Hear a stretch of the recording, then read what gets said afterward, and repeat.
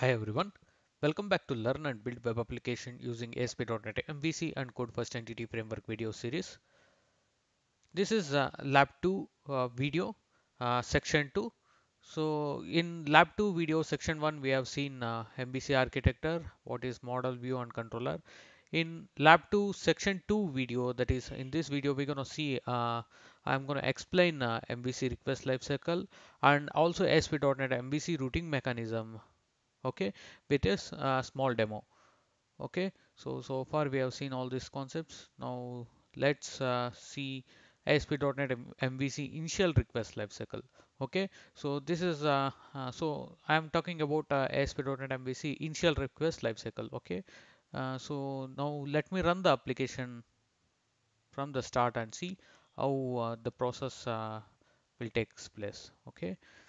So when I run the application, you can see first it gonna come uh, it gonna come to global.asax page. Okay, so it it first comes to it it's to the global.asax.cs page. Here uh, uh, there is one method called as application start method.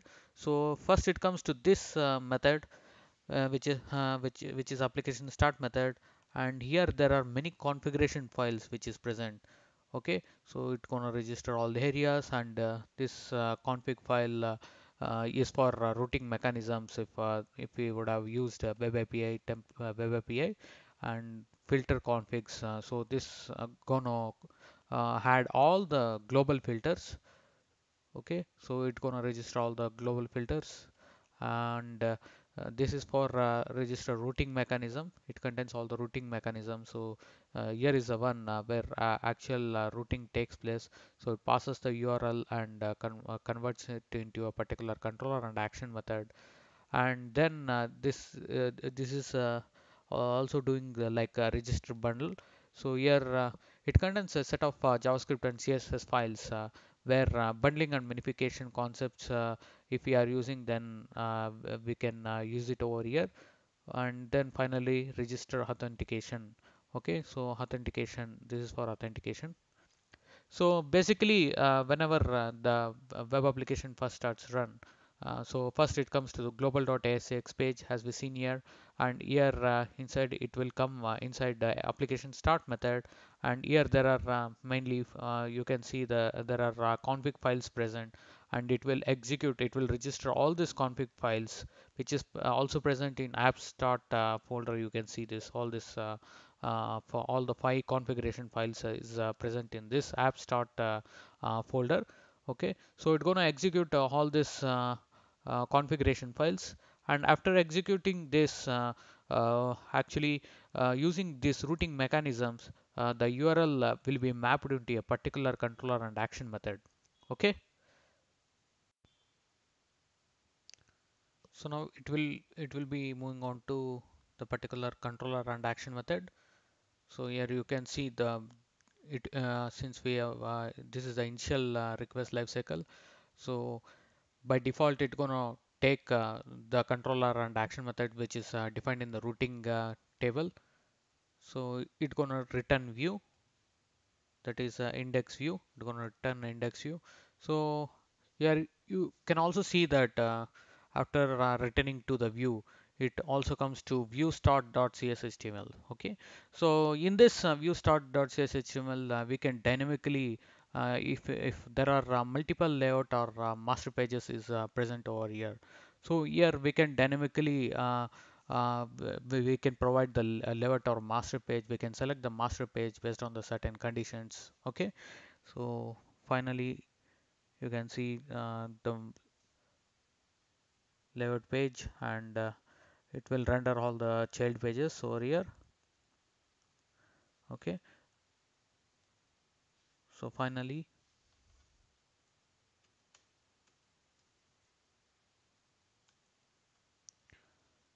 the index page is being shown to us. Okay? So this is the ASP.NET MVC initial request lifecycle. You can see here. Uh, so let me uh, tell you again uh, with an example.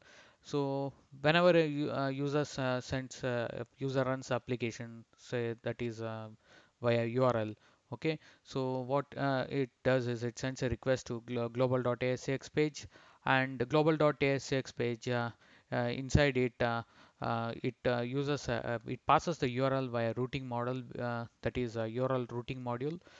So it finds a particular controller and action method name and MVC calls this particular controller class and action method name and then uh, action method can return a view or string, string or partial uh, partial view etc so uh, once call to call to the view if action method returns view then it returns a rendered HTML view. Then uh, finally response uh, will be back to the browser by moving to the specific page. Okay? So this is about the ASP.NET MVC initial request lifecycle Okay, now uh, let's move on to the next topic that is uh, ASP.NET MVC routing. Okay, so this in this ASP.NET MVC routing, uh, uh, as we've seen uh, in global.asax page, uh, it got registered in the global.asax page. Okay, so here you can see that uh, register routes which is present here. So which is present in apps. folder root config.cs page okay? So this is the ASP.NET MVC routing uh, mechanism which is handled over here okay? So what it uh, actually does is uh, it maps the incoming browser request to the particular controller and action method. And uh, actually this uh, ASP.NET routing uh, makes use of routing table uh, which will be uh, getting generated uh, when your web application first starts present in the which will be present in the global ASX page. Okay. Apart from this, uh, in ASP.NET MVC routing, uh, we can also define our uh, own custom routing.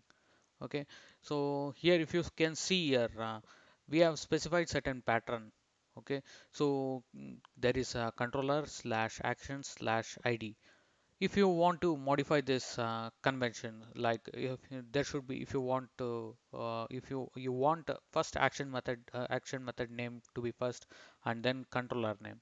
So here uh, we can uh, define our own custom uh, custom custom routing over here okay? So this is uh, here also we have given uh, see by, by default if uh, there is no controller or action method which is specified in the URL then by default it goes to uh, worm controller and uh, uh, index action method. And also here you can see id which is URL parameter dot optional okay? So this is about uh, ASP.NET routing mechanism okay? And this you can see some of the things which I have explained like unique name okay uh, which uh, specifies a, a, specific reference to a given route. So the this is the unique name. Default is a unique name which we have provided for this. And uh, URL pattern which helps the parser uh, to break down the URL into a particular controller and action method. As I said uh, this this is the URL uh, pattern. Okay we can specify our own convention if we want if we want to follow action slash controller we can modify over there or uh, define our own custom uh, MVC routing.